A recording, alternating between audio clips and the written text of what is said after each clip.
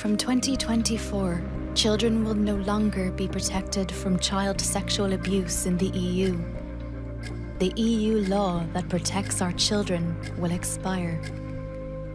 Messages sent online trigger 80% of child sexual abuse reports. We need a new EU law to protect children online and offline. Time is running out don't leave victims in the dark.